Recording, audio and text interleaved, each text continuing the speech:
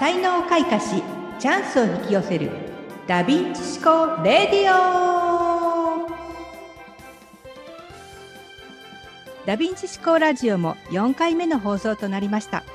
ラジオパーソナリティは桜川ダヴィンチ三好美香奥山由美子の3人でお届けしております。いつもは毎月第4金曜日に放送しているんですけども今回は急遽スペシャルゲストにお越しいただきましてこの時間帯にお届けいたします。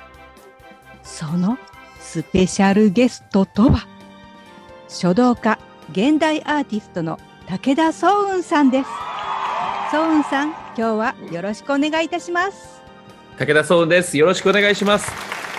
師匠今日はどういった経緯で壮雲さんにお越しいただけたんですか？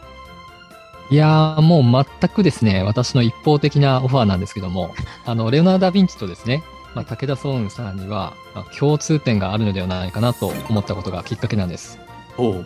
あの、まあ、以前、ソンさんが ADHD 的な気質があると言われていて、まあ、ダヴィンチも ADHD だったのではないかっていう論文が実は出てるんですね。で、まあ、ADHD って日本語で、まあ、注意欠陥多動性障害と言われていて、まあ、障害っていうとなんかマイナスなイメージが先行している気がするんですけども、まあ、実は ADHD だからこそ天才的な才能を発揮できたんじゃないかなと、まあ、こう思ったんですね。で、まあ、障害だからとネガティブに捉える人に前向きなメッセージを届けられたらと思っています。まあ、今日はそのことや、え、ソウンさんの創造性についてとか、お話を伺ってみたいなと、え思っているんですけども、ソウンさん、ちなみにあの、ダヴィンチってどんなイメージありますか？やっぱり多動ですよね。もう何でも常識とか全く関係なくうん。何でもやってる感じ何でも手を出して研究して没頭してそれをまたフィードバックしてみたいな、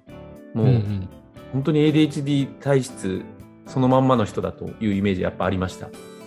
ーん、なるほどですね。あの、ソウンさんも本当に多彩なことをされていて、まあ、書道から始まって、今、あの、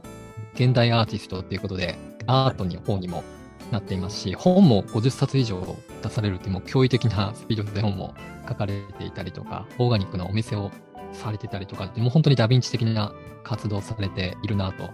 思いまして、私はちょっとあの、この間、菅田将暉さんが自分のことを須田ヴィンチさんって言ってたんで、武田ヴィンチさんとお呼びしようかなと思って、はい、今日はよろしくお願いします。よろしくお願いします武田ヴィンチです よろしくお願いしますお。願いしますさあではねとても興味深いお話ありがとうございますそうさん、あの、そういえば、えー今日からですかね、東京で個展を開催中ということでお聞きしていますけども、今回の個展のまあ見どころとか、えどういった思いで開催されたのかとか、そういったところをちょっとお話しいただきたいなと思います。はい、あの新宿伊勢丹というあの、まあ、百貨店でも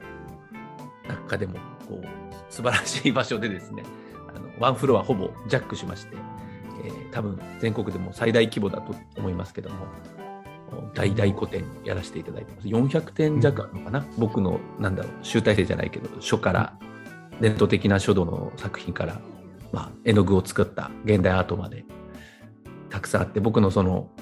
ライフスタイルっていうかね普段伝えたいメッセージ言葉には表現できないことを作品に込めてる感謝感謝の凄さとか楽しむことの凄さをなんかこう生々しく表現できてればいいなと思ってます。うん本当にこれまでたくさん作品を作ってこられた中で、あの、集大成っていう形で、まあ、その書からさらにこのアートに進化というかね、されていったっていうのは、何かやはり思いがあったんでしょうか？やっぱりねこれはちょっと多動性に限るんですけど全然やっぱりこう、一つのことに執着できなくってうん。どんどんまあわ悪く言えば秋っぽいんですけどよく言えばなんかいろんなことが広がっていくほどにエネルギーが高まるんですよね。やっぱり自分の特性だと思うんですけど、いらんことやってたりとか、初めてのこととか、なんか、いたずら心みたいな感じで、こう、ダヴィンチみたいにこう、横に広げていくと、エネルギーがどんどん湧いてくるんですよね。はあ。うん、だからその自分の ADHD の性質に合ってるんだと思います。自分のこのやり方が。だから音楽、音楽とかアートとかっていう、自分では想像もつかない世界に足を踏み込んでいって、今はまあ物僕も物理学にも中学校からハマってますけど、まさにそういう、なんだろう、ジャンルレスというか、あらゆることに興味を持って、ででも広げていくと、ダヴィンチもそうだと思うんですけど、共通点が見つかるんですよね。何か本質的に。で、それをまたアートで表現できるっていう、こう、なんかね、好循環っていうか、広げて絞ってみたいな、なんか、だからエネルギーがどんどん、なんかモチベーションがどんどん上がっていく感じが すごいなすごいですね。なんかはい相互作用でいろいろこう化学反応が起こってくるみたいな、そうそうなんですよ感じがあるんですかね。うーん。そうなんですよ。なんかエネルギーが永遠に湧き続ける、あの、湧き水みたいな感じですね。ああ、うん。なるほど。だからもう一つのことだけ没頭してるっていうのはもうできないわけですよね。もうエネルギーが逆に下がってしまうというか。上がっちゃうんですよね。うーん。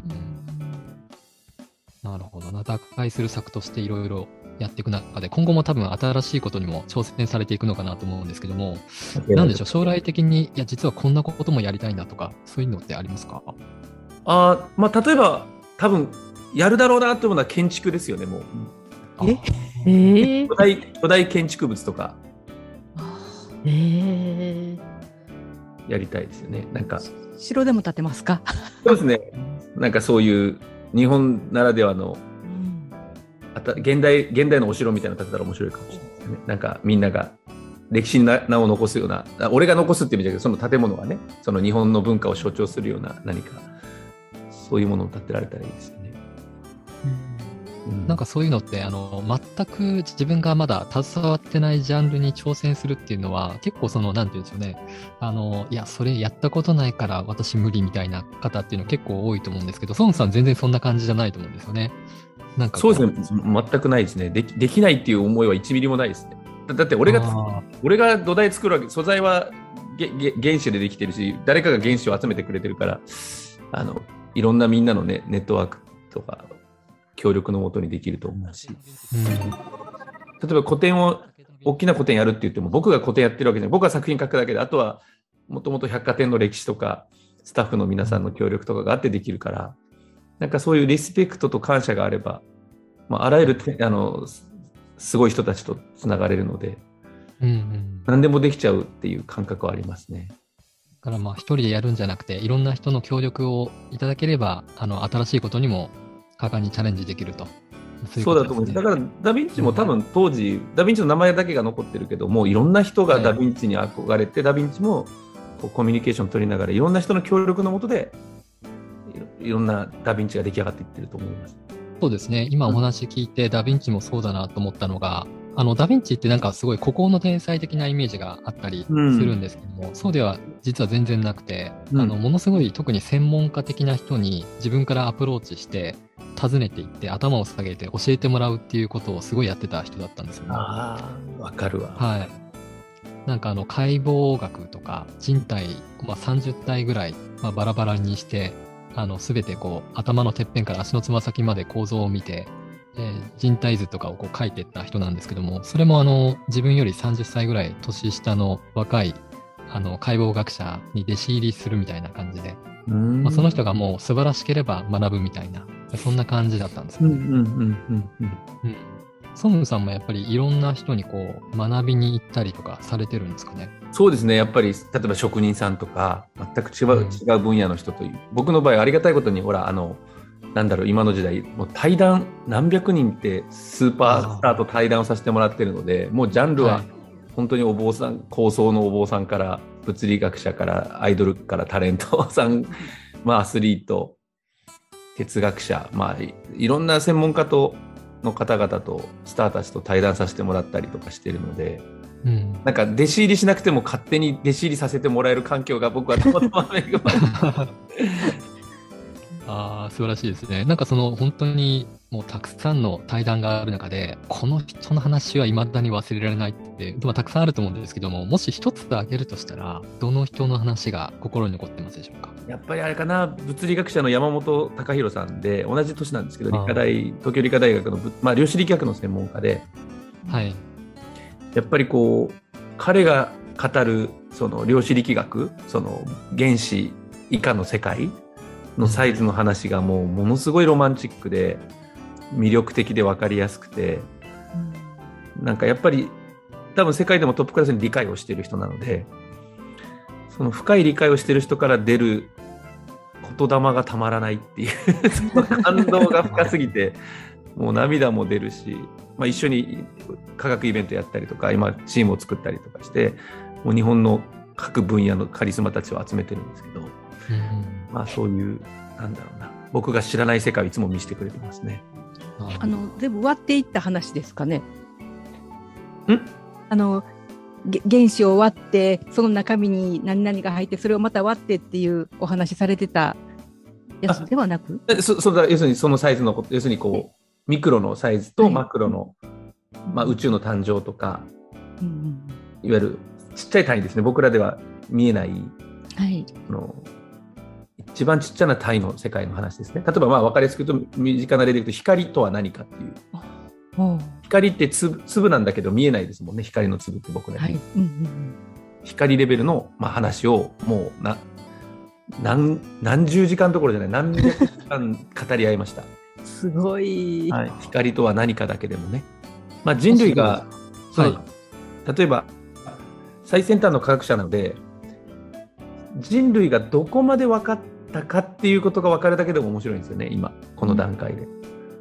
その人類の最先端が分かる知の知の限界が分かるっていう。でその先もちょっとずつ見えてくるぼやけながら見えてくるっていう次の科学みたいなのがたまらないですね。なんかそういうお話聞いてると、まさに本当にダヴィンチ的な存在だなっていうふうにね、孫さんは思いますけども。いや、あの本当にダヴィンチっぽいことをやってって、はい、でどういうことかっていうとその科学の世界っていうのは科学で専門それぞれの専門分野が星を研究したりブラックホールを研究したり光を研究したり水を研究したりしてるんですけども、まあ、そそういう人たちをこうの知のその集合僕が、まあ、そのただ科学者たちを集めるだけじゃなくてそこに心の在り方人類のその人類がもし進化するとしたら心が進化するとしたらどこに向かうべきかって多分宗教の今まで役割だと思うんですけどスピリチュアルとか宗教とかの世界だと思うんですけど、そういう哲学と宗教と科学とかを、まあ、そこに教育でもいいんですけどビジネスでもいいんですけど僕がこうなんか統一理論じゃないけど統合できていくんじゃないかなと思っていてなんかそういう媒体になればいいなと思ってます僕は。アーティストは媒体だなと思って。なるほど、まあ、その発信を、まあ、本当にトークでお伝えしたり、アートで発信したり、まあ、書で伝えたりとか、いろんな伝え方でこれ今後もされていくっていう感じですかね。そうですね。で、つないでいって、集合知性をなんかこう僕が加速させるっていうか人類の英知を加速させる役割になるのかなっていうふうに思ってます。あすごい深いことをなされようとしてますけども、すごいでも今後大切なことですね、今の時代にとそうなんですよ。特にインターネットもあるし、すごくつながりやすいんで。